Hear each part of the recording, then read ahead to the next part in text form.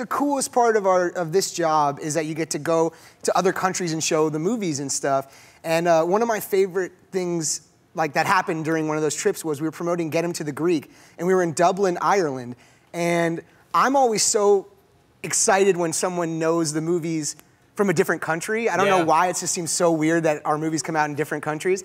And they had a big premiere in Dublin. I didn't realize there was a premiere, so I was just dressed in like jeans and a t-shirt and some dirty like van sneakers, Yeah. right? It was super embarrassing. And I was so happy because there were this group of like teenage girls, like teeny boppers, like 12, 13 years old. And they had this big sign that said, um, we love Jonah. And I was like, so moved by that, I ran over and gave him a hug. and the girl was like freaking out. And I was so like, I was just like, oh, hey, and I gave her a hug. And she was like, she didn't know what to say, I guess. And so she just like it screamed out, um, Jonah, your trainers are gorgeous.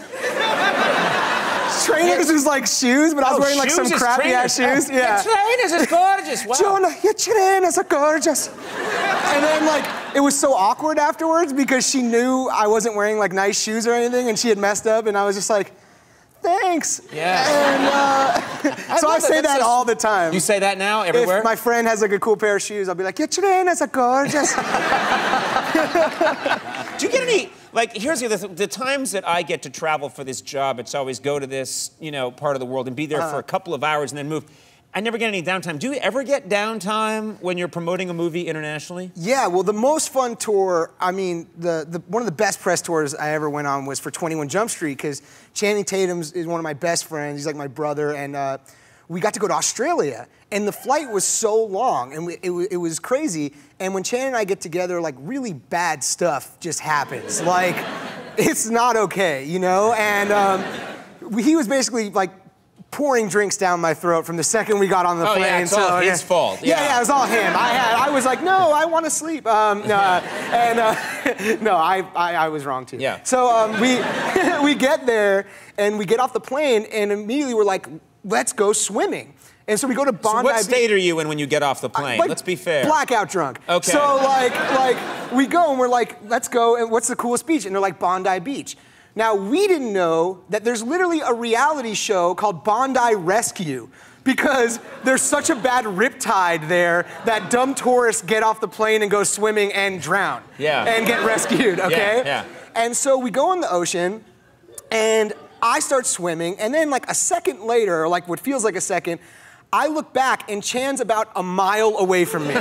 he's this big, and he's a big guy. He's literally Is this he, big. is he the one that's drifting out far? No, I'm the you one are. who's drifting oh, out. that's yeah. good. He's like by the beach, like taking pictures with people, and I'm literally like head bobbing out, like, what's going on? Where am I? And I start to swim as hard as I can, and I'm not going anywhere. Yeah. And so I'm like, this is how I die.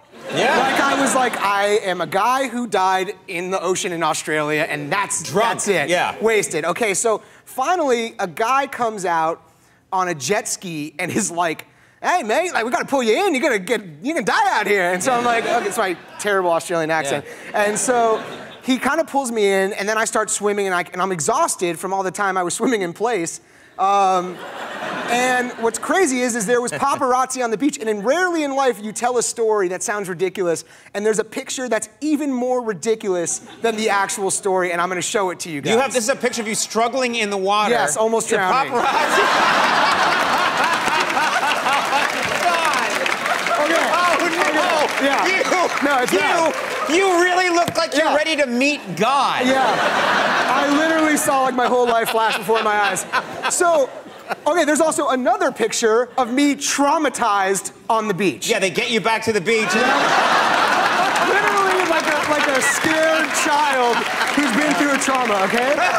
And so, The best part, still drunk. Still yeah, just blackout. And so the worst part of it was we're there for a week doing press.